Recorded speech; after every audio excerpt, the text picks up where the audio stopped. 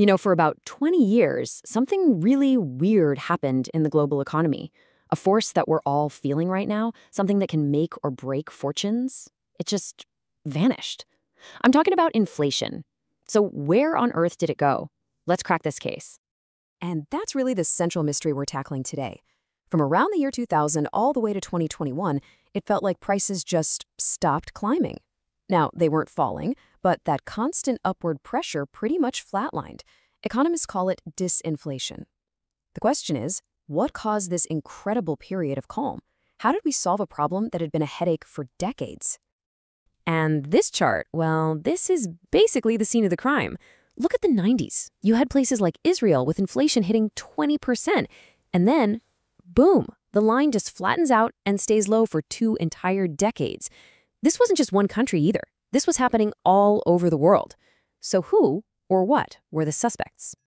To figure this out, we've got to start by looking at the big picture. We're going to start our investigation with the massive international forces that were basically putting a lid on prices everywhere. These are our prime suspects. Okay, our first suspect is a huge one. You've probably guessed it globalization. Specifically, that moment when giant economies, especially China, which had been pretty closed off, just burst onto the world stage. And let me tell you, that changed absolutely everything.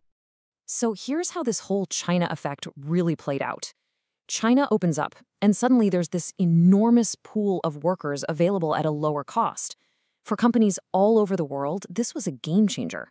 Suddenly, making everything from your sneakers to your smartphone got a whole lot cheaper. And that powerful downward push on costs was a massive reason why the prices you paid at the store stayed stable for so long. Now, this next suspect is kind of linked to the first one, but it's different enough to deserve its own spot on the board. The rise of a truly global workforce. And we're not just talking about factory jobs here. We're talking about skilled services, brain power, accessible from anywhere with an internet connection. Just think about it for a second. A tech company in Silicon Valley could now hire brilliant engineers from India. A big accounting firm in New York could have its books managed by skilled pros in Manila. This ability to tap into a worldwide talent pool meant that service costs, not just the cost of physical goods, could be kept way down. It put a cap on how fast wages were rising in developed countries, which also helped keep service inflation in check. And that leads us right to our third major suspect. This one was working behind the scenes, rewiring the entire economy. I'm talking about the tech revolution. The name of the game here was simple do way, way more with less. Man, this picture really tells the story, doesn't it? Back in the day, you needed a whole crew to harvest a field. Now, one person in a GPS guided tractor can do the job faster and better. And this incredible leap in productivity happened everywhere. Better computers, better logistics, better communication, it all meant that companies could slash waste and cut costs like never before. Okay, so we've got these massive global forces all pushing prices down. You know, that's only half the story. Governments and their central banks weren't just sitting on the sidelines. They were actively using a new set of rules, a new playbook, to keep that inflation beast locked in its cage. Let's dig into it. One of the most powerful tools in this new playbook was something called inflation targeting.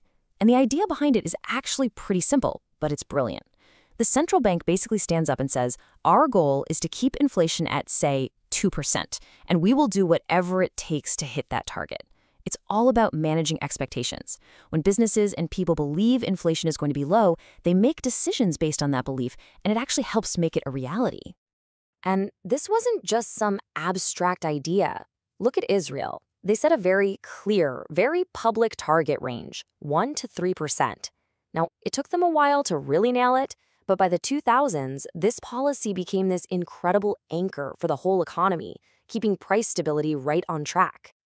The other side of that coin was fiscal discipline.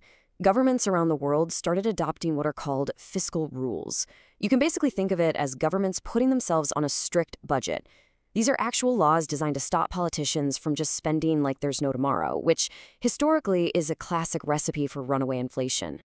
And they had a few different ways of doing this. They could put a hard cap on the total national debt. They could limit how big the budget deficit could be each year, like Israel's rule to keep it under 3% of GDP. Or they could even put a ceiling on total government spending. The point is, all these rules created a strong framework for responsible spending, which helped keep those inflationary fires from starting in the first place. So, we've covered the huge global forces and the smart new policy tools. Now let's zoom right in and look at a specific country, Israel, to see how all of this, plus a few unique local twists, actually played out on the ground. So, beyond all that big global stuff, Israel had its own thing going on. For one, they really opened up their markets to more competition, which forced local businesses to keep their prices sharp. They also had a really strong currency, the shekel, which meant imported goods were cheaper for everybody. And you can't discount people power.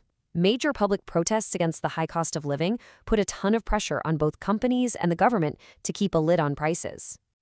All right, the investigation is complete. We've looked at all the evidence, we've interviewed all the suspects. It's time to gather in the drawing room and deliver the final verdict in the case of the missing inflation. And here it is, laid out on our case board. As you can see, there was no single smoking gun. This was a perfect storm. You had these incredibly powerful global forces pushing costs down, you had smart, disciplined government policies keeping expectations in check, and you had unique local factors adding even more downward pressure. It was all of these things working together. So the final verdict is this. The mystery wasn't solved by one hero and it wasn't caused by one villain. The reason inflation disappeared for 20 years was because of this incredible, once-in-a-generation convergence of global, policy, and local forces, all pushing in the exact same direction at the exact same time. And that leaves us with one last pretty urgent question. For a whole generation, these powerful forces were keeping prices stable. So, what happens now that many of those forces are starting to flip into reverse? That's a thought I'll leave you with.